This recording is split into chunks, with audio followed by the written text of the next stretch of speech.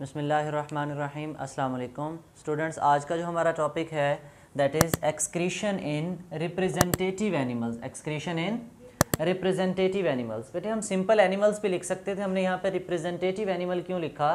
अगर आपको याद हो किंगडम एनिमिलिया के अंदर, जब आपने डिफरेंट जो है वो ऑर्गेनिज्म के ग्रुप स्टडी किए, उनमें डिफरेंट जो है उनकी क्लासेस उनके ऑर्डर्स उनके फाइलम डिस्कस किए तो बेटे, हर ग्रुप में एक ऐसा मेंबर मौजूद होता है जिसकी आप खसूसियत पढ़ लो तो इसका मतलब आपने उस ग्रुप के तमाम जानदारों की खसूसियात पढ़ ली। इसका मतलब ये हुआ कि हमारे पास जो ऑर्गेनिज्म के एनिमल्स के ग्रुप्स हैं, उन ग्रुप्स में से एक एक जो मेन मेंबर है उनका, उसकी स्टडी करेंगे तो that is called representative animals के किसी ग्रुप में से, मिसाल के तौर पे जो है वो एक क्लास है या पूरा स्कूल है, उस स्कूल में डिफरेंट क्लासेस हैं, उन क्लासेस में से जो है वो हमारे पास मोनीटर बनते हैं, ठीक है? तो अब वो मोनीटर जो होता है या सीआर जो होता है, जिसको हम सीआर कहते हैं, वो क्लास रिप्रेजेंटेटिव वो क्या होता है? Class representative G R girls representative it's mean इसी तरह वो तमाम पूरी क्लास को रिप्रेजेंट कर रहा होता है। तो यहाँ पे जो जो जानदार, जो जो एनिमल हम पढ़ेंगे, वो अपनी पूरी क्लास की रिफ्लेक्शन दे रहा होगा कि मेरे और मुझसे रिलेटेड जितने जानदार हैं, उनकी जो है वो किस किस्म की कहानी है और किस किस्म का उनका एक्सक्रीटरी सिस्टम है। तो वन बाय वन हम डिस्कस करते हैं। हमारे पास सबसे पहले एक्सक्रीशन डिस्कस की है किसमें? इन हाइड्रा किसमें डिस्कस की है? हाइड्रा के अंदर। बेटे, अगर आपको याद हो हाइड्रा के बारे में अगर हम पढ़ें तो इसकी थोड़ी सी प्रॉपर्टीज़ देख लेते हैं। हम कहते हैं कि हाइड्रा क्या है?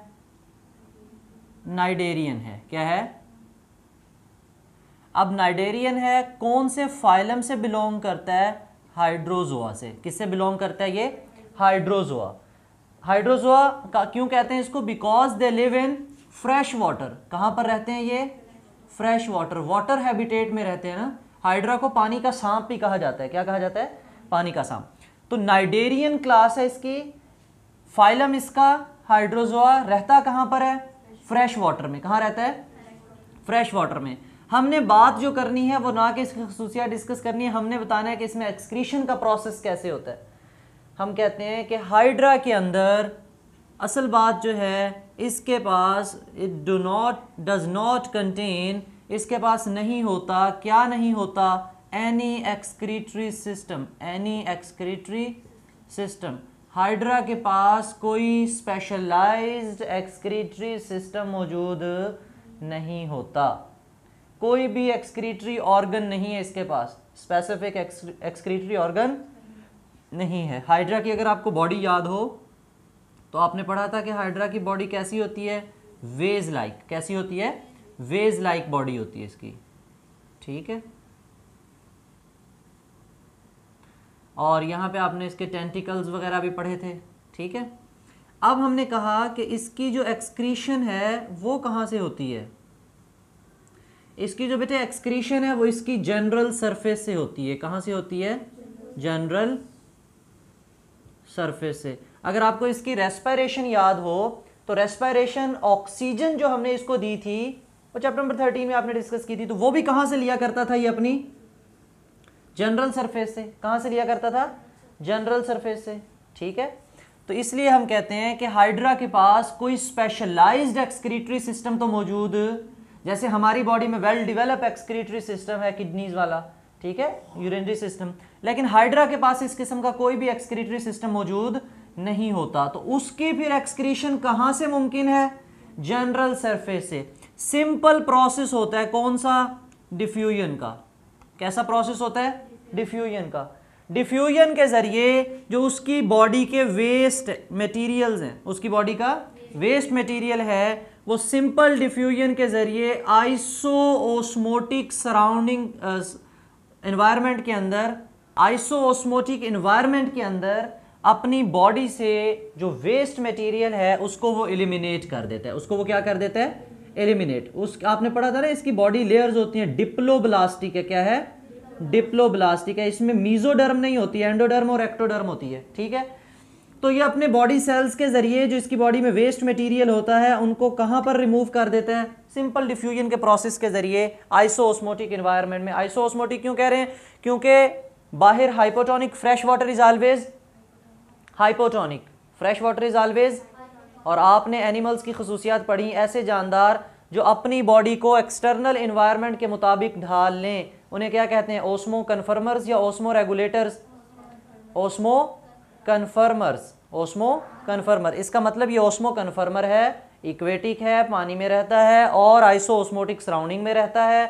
अपनी बॉडी का इन्वायरमेंट आइसो ओस्मोटिक बाहर की तरह रखता है, लेकिन वेस्ट मटेरियल निकालने के लिए ये सिंपल फिनोमेना यूज़ करता है दैट इज़ इसके पास कोई एक्सक्रीटरी ऑर्गन नहीं है। ये बात क्लियर हो गई?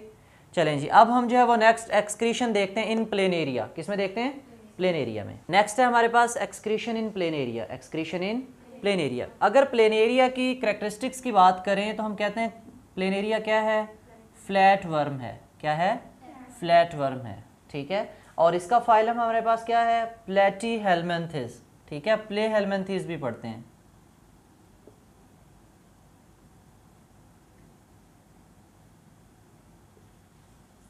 ये इसका फाइलम नेम है। ठीक है? अब फ्लैट वर्म है। आप सबने जो है वो इसकी डायग्राम तो अच्छे से देखी हुई है। हमारे पास जो है वो प्लेन एरिया की डायग्राम है। ठीक है? अगर प्लेन एरिया के एक्सक्रीटरी सिस्टम की हम बात करें, किसकी बात करें प्लेन एरिया के?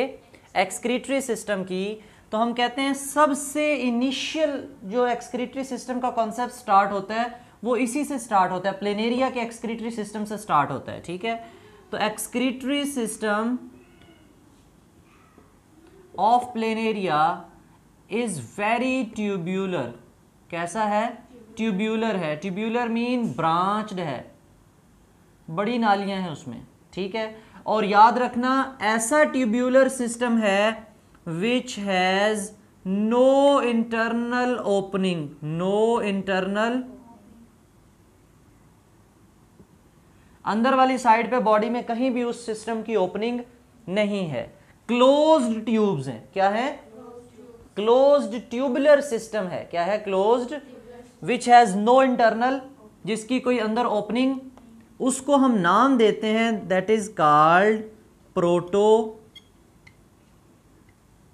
नेफ्रीडिया या अगर सिंगुलर है तो प्रोटो नेफ्रीडियम क्या कहते हैं? प्रोटो नेफ्रीडियम क्या कहते हैं? बेटे, ये असल में ये थोड़ा सा आगे जाके हायर एनिमल्स में जब हम जाएँगे एवोल्यूशन कराते जाएँगे तो यही प्रोटोनेफ्रीडियम किसमें कन्वर्ट हो जाएगी? नेफ्रॉन में. असल में ये नेफ्रॉन की पॉयनियर फॉर्म है। जब नेफ्रॉन बनना शुरू हुई तो डायरेक्ट नेफ्रॉन नहीं बनी एवोल्यूशन हुई है उसमें। तो पहले क्या थी वो? प्रोटोनेफ्रीडियम क्या थी? प्रोटोनेफ्रीडियम प्रोटोनेफ्रीडियम है, फिर नेफ्रीडिया आएगा, ठीक है? मेटानेफ्रीडिया आएगा, फिर उसके बाद जाके कहीं नेफ्रॉन वगैरह आएगी, ठीक है? अब हम देखें तो हम कहते हैं कि इसका जो सिस्टम है एक्सक्रीटरी सिस्टम वो तो वेरी वेरी ब्रांच्ड है। वो तो वेरी वेरी ब्रांच्ड है। ठीक है? और नंबर ऑफ़ ब्रांचेज हैं। उसकी वहाँ पे क्या है उसकी बॉडी में? और ऐसी ब्रांचेज हैं जो आगे से ओपन है क्लोज्ड हैं। क्लोज्ड ब्रांचेज हैं। क्या हैं? क्लोज्ड ब्रांचेज हैं। ठीक है? इसका मतलब ये हुआ क्लोज किस साइड से हैं? बाहर की जानब से, अंदर की जानब से? कि वो बॉडी के अंदर किसी भी जगह पे ओपन अप नहीं होता। बॉडी में अंदर वाली साइड पे कहीं भी ओपन नहीं होता। लेकिन आउटसाइड द बॉडी इन नालियों के, इन ट्यूब्स के बाहर वाली साइड पे उसकी स्किन के करीब पोर्स ज़रूर हैं। उनके पोर्स उन पोर्स को हम नाम देते हैं। These pores are called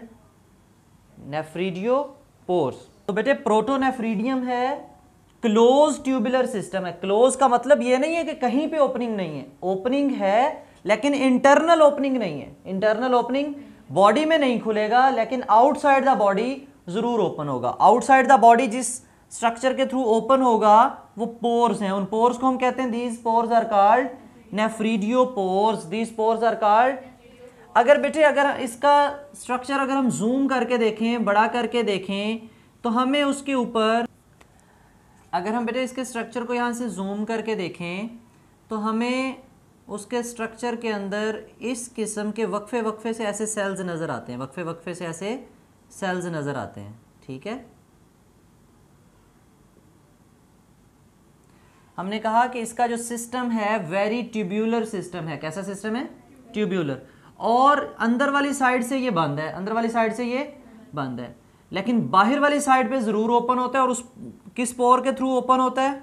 नेफ्रीडियो पोर के थ्रू अब इसका जो ट्यूबुलर सिस्टम अंदर वाली साइड से क्लोज्ड है तो हर ट्यूब के एंड में एक कैप लाइक स्ट्रक्चर है। ठीक है? वो स्ट्रक्चर जहाँ पे बंद हो रहा है ऐसे लगता है जैसे कैप रखी हुई है टोपी बनाई हुई है वहाँ पे। ठीक है? अब उस कैप को अगर हम स्टडी करें तो हम कहते हैं वो कैप लाइक स्ट्रक्चर असल में उसके फ्लेम सेल हैं। क्या है? फ्लेम सेल क्या है?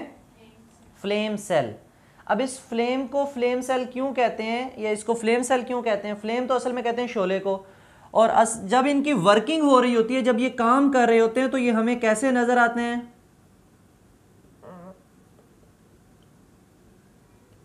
फ्लिकरिंग फ्लेम की तरह। कैसे नज़र आते हैं? Flickering flame. फ्लिकरिंग फ्लेम किसे कहते हैं? जब कोई शोला जल रहा हो तो वो कभी ज़्यादा हो रहा होता है कभी कम हो रहा होता है। इसलिए हम उसको फ्लिकरिंग फ्लेम कहते हैं। तो ये फ्लिकरिंग फ्लेम की तरह कब नज़र आता है? जब ये वर्क कर रहा हो, जब ये वर्क कर रहा हो। असल में ये फ्लेम सेल है। सेल है तो इसका न्यूक्लियस भी होगा। इसका इसमें साइटोप्लाज्म भी होगा। होगा या नहीं होगा? होगा। और एक नई चीज़ इसके उपास क्या होती है? इसके पास बेटे इसकी बॉडी के ऊपर सीलिया लगे हुए होते हैं। क्या लगे हुए होते हैं? सीलिया लगे हुए होते हैं। अ नंबर ऑफ़ सीलिया काफ़ी सारे सीलिया लगे हुए होते हैं। और आपको पता है, सीलिया का क्या काम होता है? मूवमेंट और जब ये मूवमेंट करते हैं तो किसी ना किसी चीज़ को मूव करवाते हैं। जैसे हमारी ट्रैकिया के अंदर सीलिया है तो जब वो मूव करते हैं तो स्पूटम को बाहर निकालते हैं, बलगम को बाहर निकलवाते हैं। इसी तरह, इसके फ्लेम सेल के अंदर जो सीलिया है, क्या है? जब वो बीट करते हैं, जब वो मूव करते हैं, जब वो मूव कर रहे होते हैं तो हमें ऐसे लग रहा होता है जैसे यहाँ पे क्या जल रहा है? शोला जल रहा है। जब वो मूव कर रहे होते हैं तो हमें ऐसे लग रहा होता है कि जैसे ये सेल है और ये शोले की तरह जल रहा है, इसलिए हम इसको फ्लेम सेल का नाम देते हैं। अब बेटे, ये तो हर जगह पर जहाँ जहाँ पे ओपनिंग क्लोज हुई है, अंदर वाली साइड पे, वहाँ पे एंड पे कैप सेल्स हैं, उन सेल्स का क्या नाम है? अब इसकी बॉडी के अंदर, जो बॉडी के अंदर वाला फ्लूड होता है, उस फ्लूड को हम क्या कहते हैं? इंटरस्टिशियल फ्लूड अब जब ये सीलिया बीच करते हैं। सीलिया क्या करते हैं? बीच। हर सेल के सीलिया जब बीच करेंगे तो ये इंटरस्टिशियल फ्लूड को प्रोपेल करेंगे। इंटरस्टिशियल फ्लूड को प्रोपेल करेंगे अपने ट्यूबुलर सिस्टम के अंदर। किसमें प्रोपेल करेंगे अपने? Tubular system. ये इनका नीचे ट्यूब्यूलर सिस्टम है। ये इनका क्या है? Tubular system. अपने ट्यूबुलर सिस्टम में किस चीज़ को प्रोपेल करवा के लाएँगे? इंटरस्टिशियल फ्लूड को। फिर उस इंटरस्टिशियल फ्लूड में से जो चीज़ें वेस्ट मटेरियल होंगी, जो चीज़ें वो शिफ्ट हो जाती होती हैं उनकी एक्सक्रीटरी डक्ट के अंदर। किसमें शिफ्ट हो जाती हैं? एक्सक्रीटरी डक्ट के अंदर। किसमें शिफ्ट हो जाती हैं? एक्सक्रीटरी डक्ट अब वो जो एक्सक्रीटरी डक्ट है, वो वेस्ट मटेरियल को लेके बॉडी के अंदर ओपन होगी या बॉडी के बाहर? बॉडी के बाहर ओपन होगी। तो इसकी बॉडी के बाहर हमें सैकड़ों पोर्स मिलेंगे जो कि पोर्स क्या कहलाते हैं? यही एक्सक्रीटरी डक्ट ओपन आउटसाइड ये एक्सक्रीटरी डक्ट बाहर की जानिब ओपन हो जाती है और किस ओपनिंग के थ्रू ओपन होती है उसे क्या कहते हैं? नेफ्रीडियो पोर क्या कहते हैं?